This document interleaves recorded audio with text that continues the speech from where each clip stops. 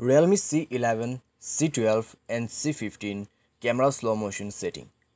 Hello friends, welcome back to How to Fix It YouTube channel. So guys, today in this video I'm going to show you how you can make camera slow motion video or how you can do camera slow motion setting okay in your Realme device.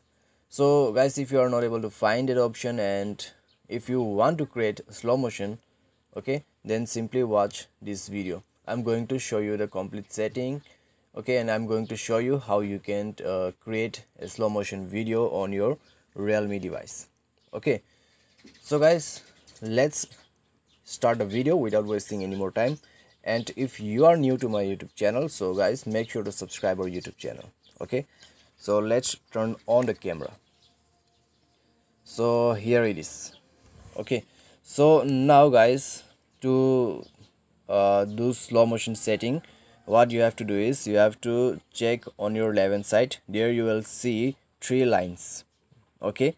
So you have to click on the three lines and you need to select the slow motion setting. As you can see here slow mo okay? So you have to tap here and guys from here you can create slow motion okay? So this is your slow motion setting.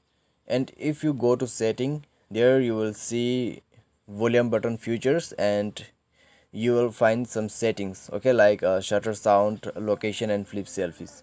So this is your camera uh, slow motion camera setting okay? And to create slow motion video you just have to tap here okay?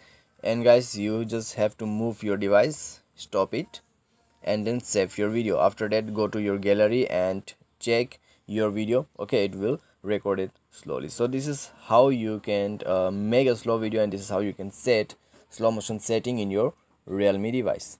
Okay? So guys i hope this video will definitely helps you. Thanks for watching